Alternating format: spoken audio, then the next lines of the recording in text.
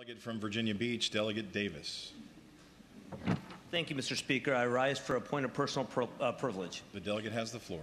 Thank you. Mr. Speaker, it would appear that those in the party across the aisle have learned nothing from November. Not the first thing. Having watched this ongoing dispute over masking in schools, that's the only conclusion that I can reach. Time and time again, we see the other party arguing that the governor has no authority to end the mask mandate in our schools, despite the plain language of the Code of Virginia, which puts parents in charge of their children's well being. Some have even gone further, Mr. Speaker.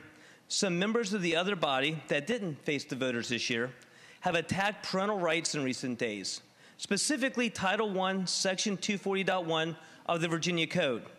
Let's take a second and look closely at this section.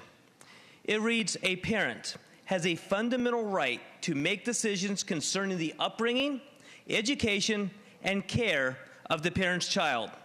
Mr. Speaker, that's a powerful statement. It writes into our code what Virginia law, English common law, and indeed most of Western civilization has held for centuries. When it comes to children, parents are in charge. When the governor issued his executive order, he relied on this language of the code. Parents, not bureaucrats, not elected officials, are the proper decision makers for whether their children should wear masks in schools or not. Members of the other party and some in the other body don't agree with that code section.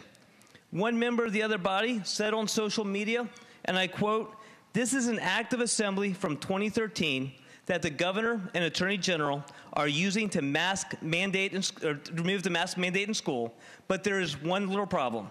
Check out section two. That court case is about sperm donor rights. It appears they never actually read the law they're using. End of quote. Mr. Speaker, the act of writing Chapter 668 in the Code did indeed codify a holding of the Supreme Court. It writes into law the holding of the Supreme Court in Virginia in the case of L.F. v. Breit from 2013. Members of the other party have mocked that case as dealing with rights of a sperm donor. Had the interns running those social media accounts done a little bit more reading, Mr. Speaker, they would have learned that the holding of the case is a bit more fundamental than that. Quoting from the unanimous holding of the court, the relationship between a parent and child is a constitutionally protected liberty interest under the Due Process Clause of the 14th Amendment. Indeed, the Supreme Court of the United States has characterized a parent's right to raise his or her child as perhaps the oldest of the fundamental liberty interests recognized by this court. Any statute that seeks to interfere with a parent's fundamental rights survives constitutional scrutiny only if it's narrowly tailored to serve a compelling state interest. End of quotes. Parents, you are in charge. Your children do not belong to the state. They are not the property of your community.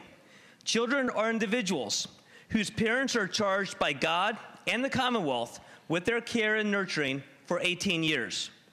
We just had an election about this, Mr. Speaker, and the side that backed the parents won. And the side that said, I don't think parents should be telling schools what they should teach, lost. Let us be clear. Any student who wants to wear a mask under the governor's executive order may do so. There is no, there is no ban on masks. Parents, your governor respects your rights as parents. Your lieutenant governor respects your rights as parents. And your attorney general respects your rights as parents. And the majority party in this House of Delegates respects your rights as parents and we will continue to do our utmost to ensure that they are not stepped on by anyone, especially those charged with helping you educate your children. Mr. Speaker, we stand with parents and we're proud to do so. Thank you, Mr. Speaker.